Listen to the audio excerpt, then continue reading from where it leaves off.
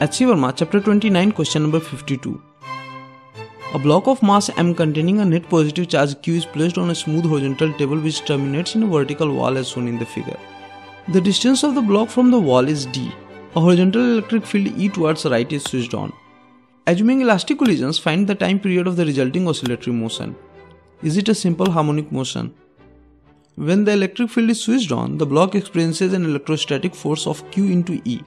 This force provides an acceleration of QE by m. If t be the time block takes to travel from its initial position to the wall, then half at square must be equal to d. This implies t is equal to root under 2d by a.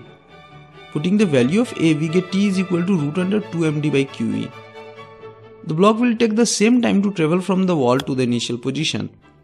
Thus, the time period of the motion is 2t or 2 into root under 2dm by qe or root under 8md by qe. This is our answer. It is not a simple harmonic motion because in a simple harmonic motion the acceleration is proportional to the displacement but in this case as we can see acceleration is constant.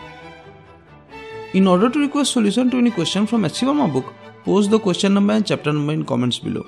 Like and share the video to help other students find us. You may like to watch the solution of other questions from this chapter. The link for the playlist is shown on the screen. Check out our videos on the theories of physics.